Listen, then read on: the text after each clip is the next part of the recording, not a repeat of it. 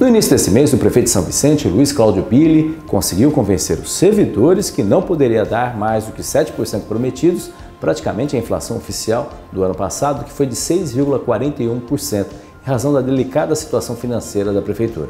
E a categoria aceitou os argumentos após um breve período de paralisação. Em Santos, o prefeito Paulo Alexandre Barbosa aproveitou o entrave envolvendo os sindicatos da categoria, o Sindeste e o Sindicerve, para amarrar o reajuste em 8% e evitar um prolongamento das discussões.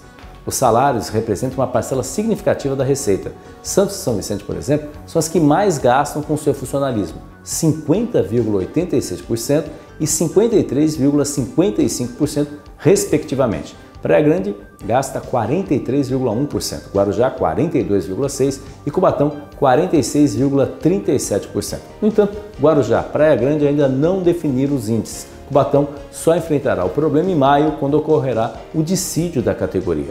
Então são situações delicadas que esses municípios estão enfrentando e vão enfrentar. Santos, especificamente, que é o município mais rico da região e entre os 20 maiores do país, já registrou uma queda de 3,1% em janeiro.